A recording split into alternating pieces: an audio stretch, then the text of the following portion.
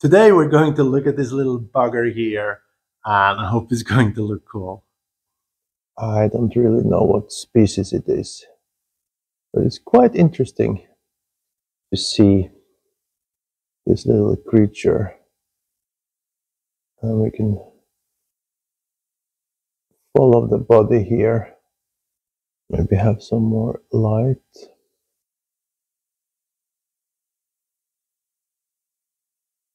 And I was thinking we should look at the wings. Here we can see the wings are coming.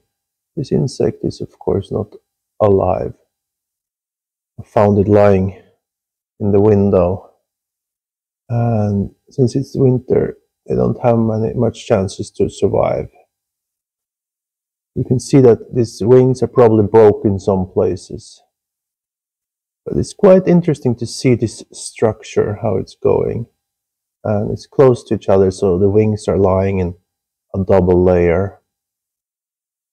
And we get some quite beautiful pictures out of this.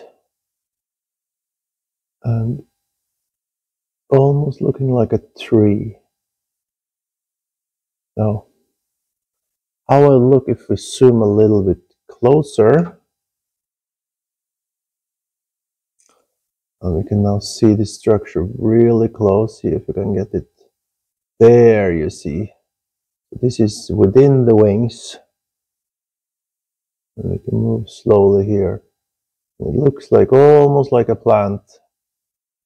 But that's that's very interesting with this organic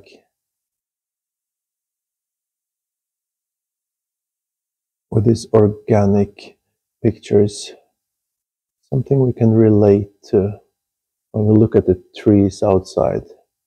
I'm trying to get it a little bit more clear here if it's possible. Oh, it's just blurring out. Very close now. Here we can see something. There we have more. A lot here to look at in different layers depending on where I'm putting my focus.